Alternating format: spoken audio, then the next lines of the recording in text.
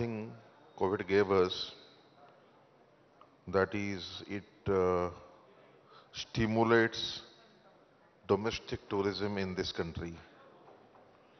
We started appreciating our own thing, visiting places. So far Government of India is concerned, Ministry of Tourism is concerned, they have different uh, scheduled scheme. One scheme is called uh, domestic promotion and publicity, including hospitality, through which they promote domestic tourism in the country. Ministry of Tourism further has different other schemes like uh, Swadesh Darshan, Dekho Apna Desh, under Dekho Apna Desh, uh, this uh,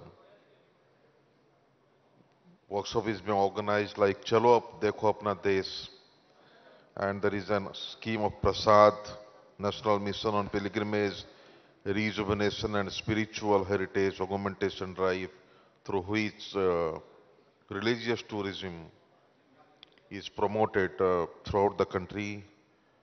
And there is uh, a scheme called Central Financial Assistance to Central Agencies.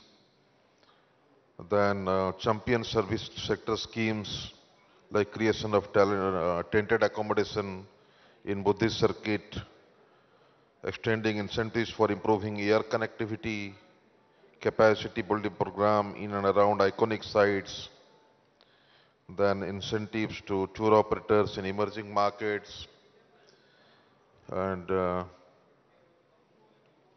as uh, from the ramparts of the uh, Red Fort, Prime Minister Sir has emphasized uh, that uh, by 2022 everybody should ensure to visit at least 15 destinations under Dekho Apna Desh scheme. And there is a scheme called Adopt a Heritage Project. The Ministry of Tourism, Government of India has launched the Adopt a Heritage Apni Dharohar, Apni Pehchan project, where uh, corporates are being invited to adopt a heritage, take care of it, manage it, and uh, promote it uh, domestically as well as internationally.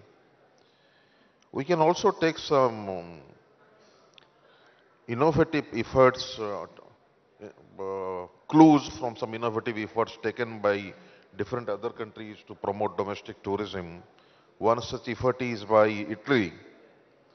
During the pandemic, the uh, Italy, they declared a bonus called bonus vacanze. All those people whose earning is less than 40,000 euros, they have been paid 500 euros to see and move around Italy and see the places. Similarly, Malaysia allocated 113 million in travel discount vouchers as well as a personal tax breakup of $227 for expenses related to domestic tourism. These are all motivations, incentives to promote. Costa Rica moved all holidays in 2020 and 21 to Mondays so that Costa Ricans can enjoy long weekends to travel around the country and extend their stays. France, Request you to be kindly. yeah, yeah, yeah, yeah, yeah, yeah. France has also had a scheme called uh, This Summer I Visit France campaign, which highlighted the diversity of destinations across the country. Argentina had one scheme. Thailand has such schemes. So we can take such clues and promote domestic tourism. There are enough scope in this country because promotion of domestic tourism can strengthen the base of our tourism infrastructure and tourism can grow further. Thank you very much, sir.